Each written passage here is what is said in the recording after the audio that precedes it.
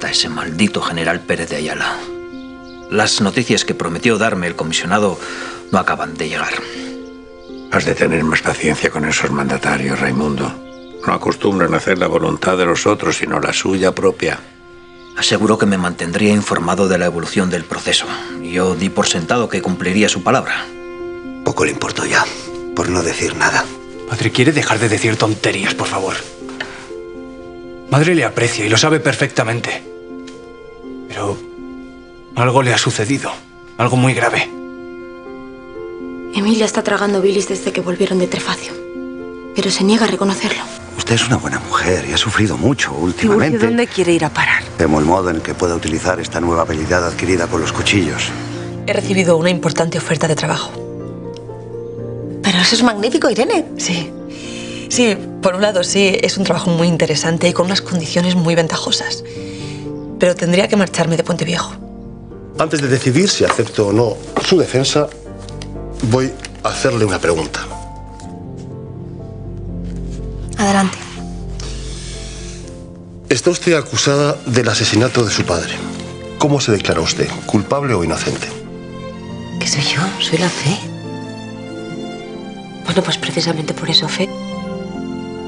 Ya sabes, eh, todos los padecimientos que, que estamos viviendo por culpa de ese general. Sabemos los padecimientos que, que está pasando Alfonso. De ti no sabemos ni chispa. Bueno, ¿y quién se va a encargar de hacer los retratos? ¿Cómo que quién se va a encargar? Pues el mejor fotógrafo de Puente Viejo, ¿eh? Un artista, un genio, el Velázquez del nitrato de plata. Lo siento mucho, pero no sabemos nada del paradero del pobre Nicolás. No, si no se refiere a Nicolás. Sé lo importante que es Irene en tu vida. Y mucho más aún en la del niño que estáis criando en común. Pero es que si no cambias de actitud terminarás perdiéndola. El asunto es que no tengo pruebas para demostrarlo. Pero como bien sabes, estoy convencido que tiene mucho que ver. El caso es que Nazaria seguirá desaparecida. Y tú y yo sin poder arreglar lo nuestro. ¿Lo nuestro o lo vuestro? Depende de ti. ¿Tendrás cara dura? No, no, no, Mauricio, no me vengas con esas. Vamos, Fe. Pensemos en nosotros. Si en algún momento quiere recuperar su estima, ayudará a que hayas colaborado para sacarla de la cárcel. Que quede una cosa clara, padre. Si Julieta sale de la cárcel es para volver junto a mí a la casona.